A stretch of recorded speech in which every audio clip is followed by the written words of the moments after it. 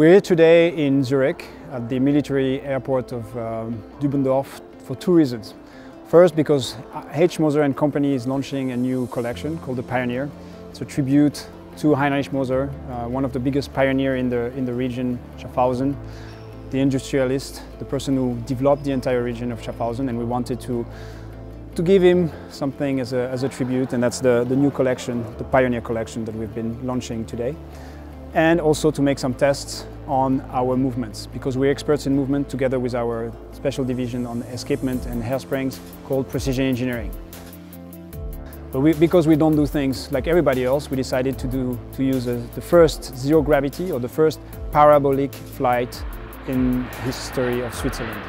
This morning we flew together with scientists from the University of uh, Zurich and a few journalists and two performed some tests in zero gravity. An amazing experience. We went 15 times in zero gravity with ourselves floating out there. An amazing experience.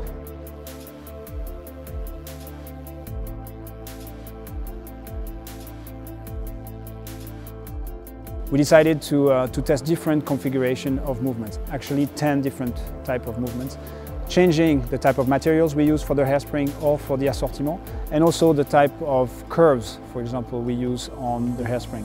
The combination of those different elements were tested against each other to see how they perform in zero gravity and hypergravity uh, against their uh, normal behavior, but also, and that's probably the most important aspect, against the theory, against the theory that we simulated with our computers, to really understand how those uh, movements behave without any uh, mechanical constraints, no force on the movement, on the escapement itself.